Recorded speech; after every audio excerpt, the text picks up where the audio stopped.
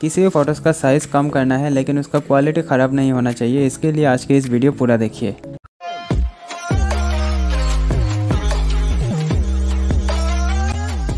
सबसे पहले आपको गूगल के सर्च बार में जाकर सर्च करना है फ़ोटो रिसाइजर उसके बाद सबसे पहले जो वेबसाइट आ रहा है, उस पर क्लिक करना है। उसके बाद आपके सामने कुछ इस प्रकार का इंटरफेस ओपन हो जाएगा। यहाँ पर आपको ऑप्शन मिल जाएगा सिलेक्ट इमेज का उस पर क्लिक करना है और यहाँ पर फाइल्स का ऑप्शन मिल जाएगा यहाँ पर क्लिक करना है। ऊपर लेफ़्ट साइड में आपको थ्री लाइन दिख रहा है, उस पर क्लिक करना है और थोड़ा सा नीचे स्क्रॉल करके आपको फ़ोटोज़ का ऑप्शन मिल जाएगा, उस पर क्लिक करना है। अब आपको अपने गैलरी से उसी फ़ोटो को सिलेक्ट करना है, जिसका साइज़ आपको कम करना है। अब आप यहाँ पर देख सकते हो कि इस फ़ोटो का साइज़ है two point zero eight M B इस फ़ोटो का साइज़ कम करने के लिए आपको नीचे जाना है और सबसे पहले आपको यहाँ से फ़ोटो का फॉर्मेट सिलेक्ट कर लेना है। यहाँ पर आपको तीन तरह के फॉर्मेट मिल जाएगा जेपीजे पीएनजी और जीआईएफ आपको जो भी फॉर्मेट चाहिए, यहाँ से सिलेक्ट कर लेना है। उसके बाद आपको यहाँ पर एक ऑप्शन मिल जाएगा क्वालिटी का। यहाँ पर आप जितने भी टाइप करोगे, उसी के अकॉर्डिंग आपका इमेज का क्वालिटी आएगा। जैसे कि मैंने यहाँ पर 100 परसेंट रखा और रिसाइज इमेज पर क्लिक किया। साथ ही साथ में आप देख सकते हो, यहाँ पर मेरा फ़ोटो जो है रिसाइज होकर रेडी हो चुका है। आप यहाँ पर देख सकते हो, इसका साइज़ जो है 1.61 MB है।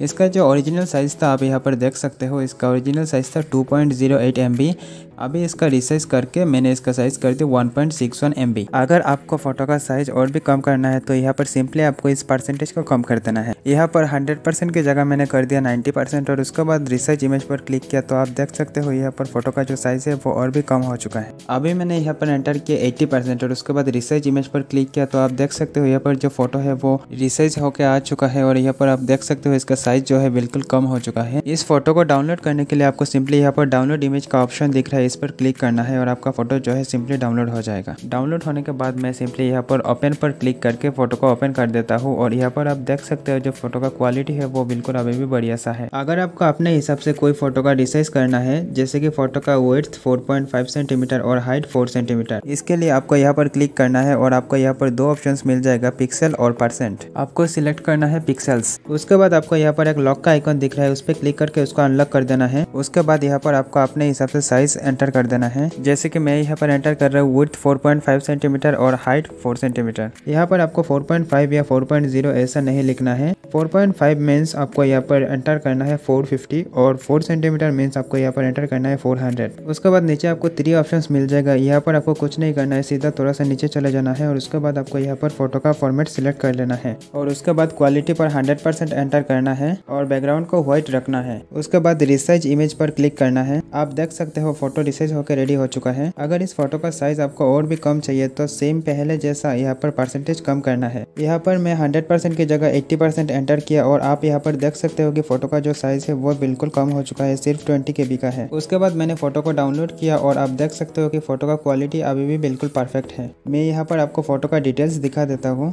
इस फ़ोटो का dimension 450 fifty into four pixel है और इसका साइज़ सिर्फ़ 20 के भी है। लेकिन फ़ोटो का साइज़ इतना कम होने के बाद भी फ़ोटो का क्वालिटी जो है अभी भी बढ़िया सा है, जैसे कि आप यहाँ पर देख सकते हो।